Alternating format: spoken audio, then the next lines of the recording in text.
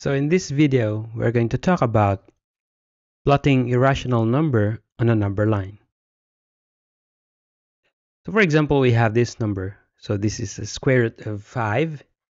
And um, square root, square root means uh, looking for a number. If you square it or multiply it by itself, you will get the number inside that radical symbol. Like for example, square root of 4. Square root of 4 is 2 because 2 squared is 4 or 2 times 2 is 4. But for this square root of 5, we cannot find, we cannot just simply find a number. If you multiply it by itself, you will get 5. So uh, this is what you call an irrational number. So irrational numbers are uh, numbers which you cannot write it in decimal um, or in fraction. I mean decimal that is uh, non-repeating, or it can be, um, I mean it's uh, terminating, meaning there is an end of a number and it might be unending but it's repeating. So you call it um, repeating but uh, although non-terminating.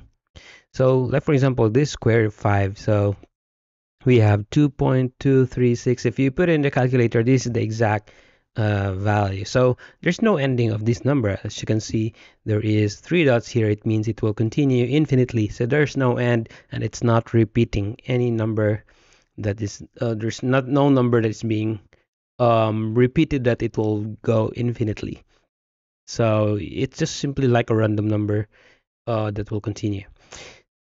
Unlike, like for example, one third, one third is uh, never ending, but it is 0.33. So it's a repeated repeated number three. And so basically we cannot um, plot this in, in a number line if you want to get the exact because this is, as I said, it's an infinite number. But we can actually uh, approximate it or just estimate where it uh, it is located. And that's what I'm going to teach you. So going to the number line, so this is the number line. So of course we don't include the negative sign since um, uh, we will not uh, uh, have that, those squared with having an answer of a negative. So you will just go to the positive numbers. So square root of 5, but although you have seen the exact value if you use calculator, but what if you will not be using a calculator? So how are we going to plot it in the in the number line? So the best thing to do first is to put the equivalent um, square roots of these numbers on the number line. So if you put the square roots of 0 up to 9, that's 0 squared of 0, 1 is square root of 1, 2 is a square root of 4 because 2 times 2 is 4. 3 is square root of 9, by the way, I'm looking at this because uh, 3 times 3 is 9. 4 is a square root of 16 because six, 4 times 4 is 16, and so on. Up to 9, it's a square root of 81 because 9 times 9 is 81, and square root of 81 is 9. So it's easier for you to plot if you put these numbers.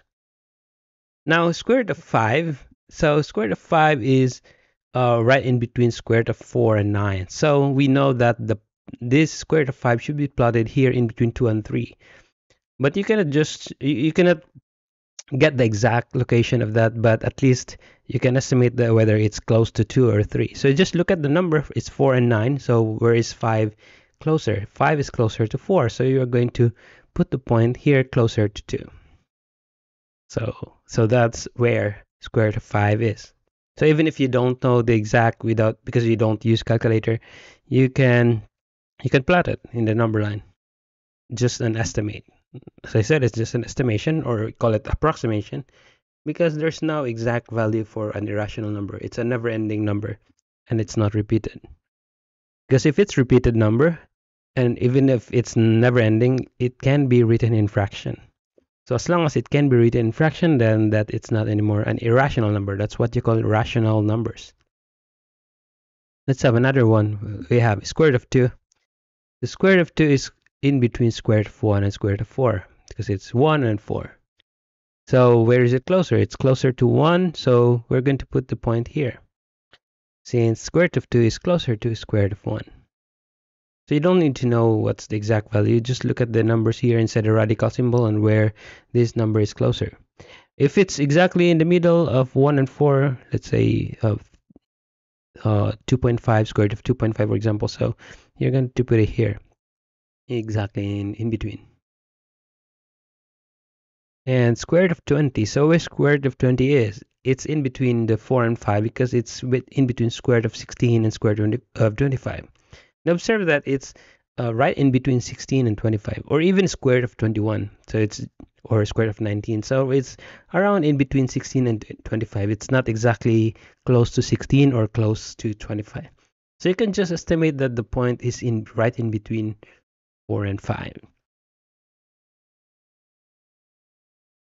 and another one square root of 77 so where is it? It's close. It's in between 64 and 81 and observe that um, 77 is much closer to 81 than 64 it's way far from 64 and it's closer to 81 so we're going to put it here a little closer to 9 so that's square root of 77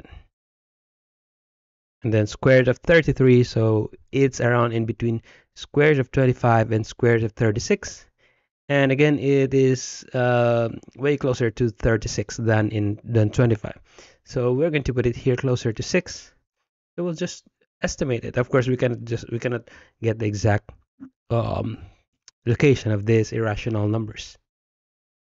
And that's it. That's the last uh, example. So i hope you have learned something from this video and please subscribe to my channel